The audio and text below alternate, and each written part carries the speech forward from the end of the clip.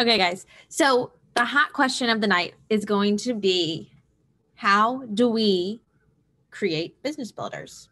You know, that's like a question we constantly ask everyone. Okay, on the National Up Call, but how do you create a business call, business builder? But how do you find those business builders? How do you do that?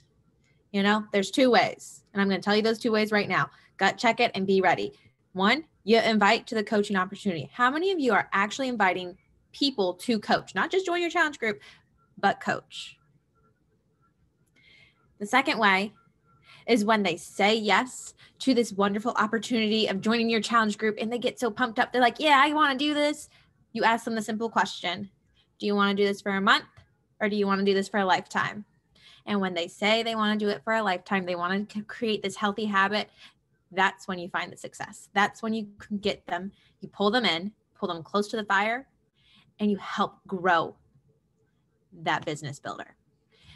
Most of the time, you're not going to find those. Those are unicorns. Business builders are unicorns. You can create them though. And that's what I learned at NLC. It was this moment of, dang, I just need to start creating them. I need to invite them to the opportunity and then create them from there. So I want you to drop in the chat right now what gets you nervous to invite to the coaching opportunity? What are those feelings you start to feel that maybe you're like, uh, I'm not going to invite them to this coaching opportunity, not the challenge group opportunity. Why do you not send those coach invites out?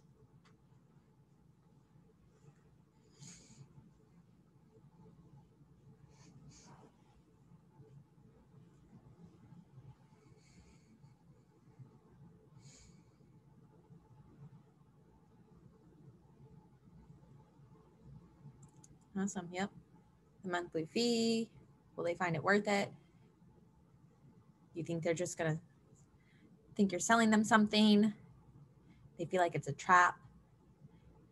Maybe it's a mistake they won't be happy with. They don't want to do what you're doing. The fear of not being needed.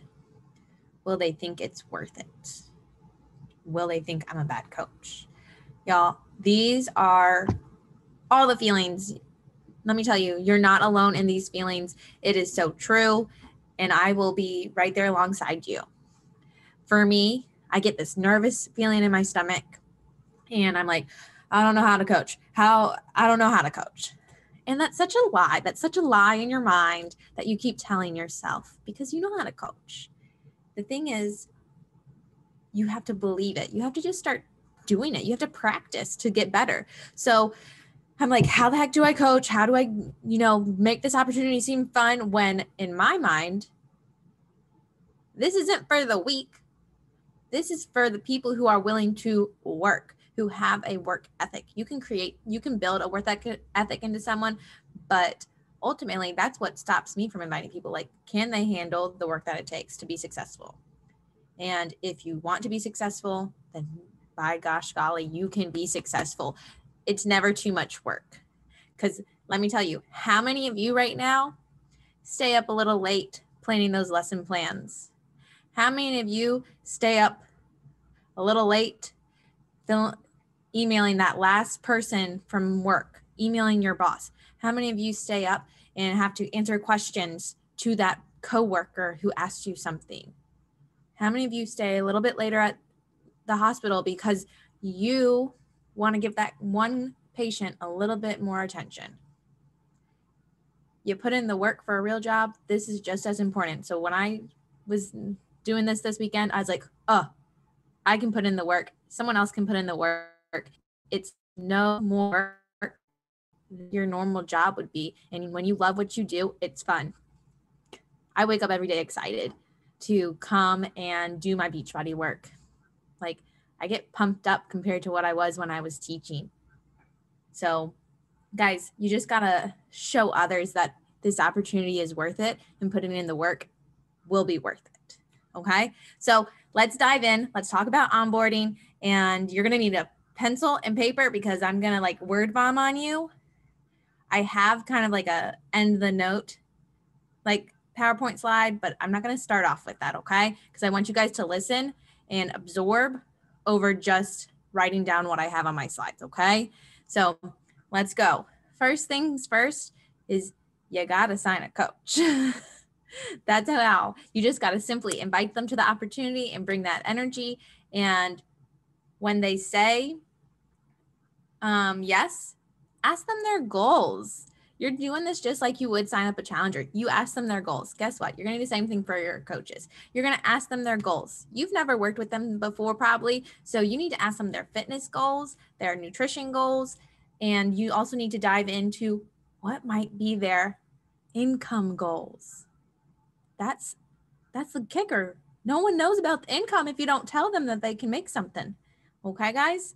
So this means dive into it and kind of depict them. Ask them when you say income goal, maybe what does $50 extra a month do for you? What about $50 extra a week for you? What could that do? Ask them the simple questions because $50 doesn't sound like a lot, but guess what? That's a date night I get to take me and David out. That's groceries I get to put on my table. That is getting my nails done and not having to ask for it. Those are things that I get to do for myself because I earned that money. That money is mine. So those are the fun treats of it. And people don't think about that. So plant that little seed in their mind, okay? From there, I want you to dive deeper into their goals and ask them why. What can this do for you? How can this change your life? What do you have to become in order to continue going towards your goals? And then the last question that you're going to ask them as they get started, and you're just giving this to them. You ask the questions, it's not verbal yet, they get to think silently. So I have a graphic that I will share with you guys, and you guys can use that. But this is something they're doing on their own. And then you ask them the question, what can you gain from this opportunity? That's the one that's going to be the emotional feel that's going to be the one that you provoke these feelings of excitement and energy and and help them kind of feel like oh my goodness can i do it? But then that's when you step in and say yes you can. I am right there with you every step of the way. So um, like kristen said she said um, you ask them about their obstacles. So what might be a bump in your road too? So that's also something that you can talk about. From there as they message you back all these wonderful goals, or maybe they just take a picture of it and send it to you, set up a one on one with them. A one on one is so important. You get to hear their heart, you get to hear their ambitions, and then they get to hear your energy. Okay. You get to be excited for them. You get to um, believe, believe, breathe belief into them. And then you get to just be excited for what the opportunities they can do with this. Okay. With this business, there's so many things, but do they know that if we don't talk about it? No. So always remember that their goals are your goals, and the best coaches are going to be the ones you help to reach their goals. So their goals are so important to you. Um, then you also want to talk when they start talking about fears, because like everyone, they will have fears. I have fears, you have fears. Break them down and kind of flip the script. So when they say, but I don't want to post on my social media. I don't know what my friends are going to think of me. Say, but think about all those people that you can help from that. And then tell them how who helped you get started. You can have that great impact right there from your get starting point. Or you can tell them about someone you got to help get started. So it's crucial that they know that their fears are limiting them and they shouldn't be because there's so many amazing opportunities out there. Now you have their goals, you've talked to them. I want you to kind of scaffold it. So if they say, okay, I think I can kind of do this coaching thing, what else do I need to do? Then that's when you get to dive in and talk about the business activity tracker. If they say they don't want that and they're like, I'm not ready for that, you planted the seed where there's an opportunity for them. Okay. You never have to push someone into this. Sometimes people aren't ready for it, and that's fine, but invite them to all the opportunities. So when you have team calls, when you have book clubs, when you have virtual workouts, invite them to the opportunities so they can see the fun in coaching, but you don't have to pressure them to coach and fill out the tracker. For those who do say they want to dive in to being a coach and they're like, okay, I want to dip my toes into this. I would like some extra money. What do I have to do? This is when you get to pull out the tracker and go through it with them. So I'm going to share my screen real quick with you guys. Uh, that's not the right one. Okay, so Brittany at one point, and I always go back to these. I don't know why I've never actually saved them onto my own computer, but we have these awesome scaffolding trackers. They break it down so simple. So, like when a coach is, there was just a coach one, but so we have our push to emerald one. There is one where it's just like take care of yourself as a coach, which is perfectly okay. I need to put that in there. I just put the wrong picture, but there is one for that. So your first one is if those people just want to take care of themselves, hand them this tracker, kind of give them the idea of what they can do. So that means are they drinking their shakes? Are they working out? Are they um, listening to some personal development? Just the basics of having an overall strong physical and mental and emotional and spiritual circle. Okay, guys, that's the very basic one. Then you can guide them into and just run down. So, this is the idea. We are going to start new conversations with people because we got to get the word out there. You share your favorite coffee. Why not share your favorite workouts? Invite someone. This can be a family member. It can be someone who commented on your post and said they really liked that you were working out. You can invite them. And then also make sure you're we're posting on social media and kind of engaging so we can get those engagements so people know what we're doing. You can't invite someone if they don't know what you're doing. So that's the, like the very basic one. If they are fire and they're like, I think I can do a little bit more than that, you can take it even a step further. Okay, here's what my Emerald coaches do. This is the first rank in Beachbody. This is what they do. And it's my expectation for them so that they can start new conversations and they only invite two more people. How unintimidating is that? You went from one to two. Oh, I think I can do that. Then um, I'll just show them all of it, it depending on like their field. This is like you got to feel your people out. Okay. So then you could show them the diamond one and then what your diamond coaches do, just so they can see in comparison kind of what's the difference. At this point, they might not even think ranked means anything. They're like, oh, six invites. I can talk to six people and invite them to this opportunity. Different people, you know, if you got an extrovert, that person might say, okay, I can do this. You might have an introvert and they might want to be like, okay, I can do two invites. It doesn't matter. You're working with the working, and that's the awesome part. So after that first one on one call, you need to dive in with them and keep them super close to the fire. Like they want to feel hot. They want to know that you're right there with them. And so this is when you are going to do daily check-ins with them. You're going to just say, "Hey, did you get your workout in or did you want to join on our virtual gym?" This might be when you send them a quick Snapchat of you drinking your Shakeology or whatever they ordered me you the you send in a picture of that showing them that that's fun that you're drinking your shake too. Um, you can show them your tracker and be like hey i invited someone today. Did you invite someone today? It's just about making it fun because what is coaching? It's you guys are all here because you think it's fun. It is. It truly is. Why are you here? Because you like the community. Why are you here? Because you love the workouts. Why are you here? Because you enjoy what you do. So make it that way. Show them that they can love what they do as well. So i love that's like the biggest aspect is like showing that coach fun that it can be so simple. And by you keeping them close to the fire and doing those daily check-ins you know if they're doing the work or not. If they are a go-getter or not. You know if they can handle your next push. So you're doing that. You're going to set up another one on with them for your one the week after just to check in with them. Hey, what do you need from me? How's it going? Do you see yourself discuss, you know, just discuss the goals that you can set up with them. Can I push you a little bit harder? Can I get you to do two invites this week? Can I ask you to share in our bod group? If they weren't already, I don't know why they wouldn't be, but if they weren't, can I ask you to do that? Can I get you to comment on some people's posts inside our bod group in surrounding them with support? Just the ideas like the natural things that we do as coaches. Make it sound simple because it is. And then the last thing is if they are being rock stars and they like invited and they're like, I can do this because you're going to have people who, after you breathe that belief into them, they're going to think they are on top of the world. I know I still get texts from some of you guys. Hey, I just sent my five invites out. Heck yeah. Way to go. That's what I'm going to tell you.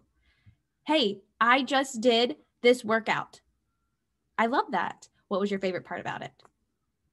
It's just asking the questions and encouraging them and saying you're excited for them we're just cheerleaders. And I love that about this because I get to empower you guys. You guys empower me. It's a give and take of just empowerment. We're not tearing each other down. And then when you hit that second one on one call and you're just like, dang, you're doing so awesome, let me discuss rank with you. So break down Emerald and how easy it is to get there, but don't stop there. Go to Diamond. Diamond is just as easy to get there. If they sign two coaches the first month, who says they can't sign two coaches the second month and who says they can't sign two more the third month and in 90 days they hit diamond that's freaking amazing it's that easy but you got to show them it's that easy we put this like high pedestal that diamond's so hot so hard to get there it's not don't start them off saying it's hard to get there it's not it's easy let me show you how you're going to get there and what you can do to get there so guys our ultimate goal is to go through this creating a mentorship. So we want to be able to sign two to four coaches ourselves each month so that when we do have those two to four coaches and they're going through our onboarding process, we can put them in a pod filled with energy and excitement. And you can be excited in there. And those girls who are working are going to rub off on those girls who might have been hesitant. We can put them in this pod where they can feed off of each other, where they can ask questions together, where they can see that, oh, that girl already signed someone. I can do that too, I think. Let me keep inviting. That's the importance of that. So that's our mentorship. And that would be the awesome opportunity when you sign two to four coaches. Okay. So goal is always two to four coaches a month. And then just remember, friends, it takes about one month to really get them excited. And it's that first month, that first month that we get to dive in and give them that energy and show them that you can do this. It's that planting this, of the seed that gives them the belief that they need. It's the first time they get exposed to the opportunity. It's the doors that they get to open and feel excited about what's going to happen. What will they be able to do? Because now they have hope, they have visualization. Now they get to understand that there's a future outside of just their normal day job. So as coaches, we got to bring the energy. We got to get excited. We have to show them that we are here for them, that we do this every day. We love it. Let me show you why I love it. Let me help you show that to others because this is a business and we get to show up and inspire others that we never thought we could before. Okay. So right now in the chat, I want you to tell me how many coaches you're going to sign this month.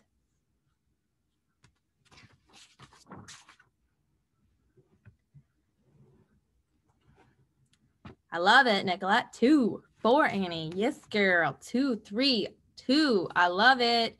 Also, here is my wonderful slide thing, but I'm going to share, I'm going to real quick um, share with you guys this one screen to kind of walk through the idea of it. Okay. So what I copied is just the slides right here. And so this is like you're setting your goals so it, they can write on it. Um, I recommend them printing it out, but you print one out too. So when you go on your one-on-one with them, you go in and they tell you their 30-day goal, you write it out. Their one-year commitment goal, you write it out. They already have it out. And then their income goals, and then write out their whys, and then write out what they will gain. Then you need to take them on this journey of their health and wellness. And this is kind of where you're going to talk about the fears that they have and you're going to flip them so i would i gave examples right here there's examples um, you might only want one example not like so many because you don't want to put those fears already in their head that it's like scary to invite scary to um, you don't want to feel like you're bothering people so this is just some of them but don't give them all of them don't put that fear in their head um, but that's kind of the idea where you get to flip the switch for them and help them see that it, you don't have to think of it that way because those aren't your people then. And then this kind of teaches them the idea of like expanding your network and kind of branding yourself. So I have that right there. It goes through them like how do you attract your people and like this is based off what you like. Like I like soccer. Okay, so I might go find someone who likes soccer as well. And then here's like a posting idea of what they can post for their first week to make it less intimidating. So Sip It Sunday could be their drinks, Motivation Monday, Tip Tuesday, Workout Wednesday, Thankful Thursday. So just ideas to get them going and take away the fear of those actual posting ideas of like, I don't know what to post. Guess what? I, I thought of it for you. Then um, weekly meal plan so that they're sticking to their nutrition kind of deal right there because that's also important on top of being a coach. And that's all I really have for you. Um, I do have this where you can those trackers I put on there right here as well.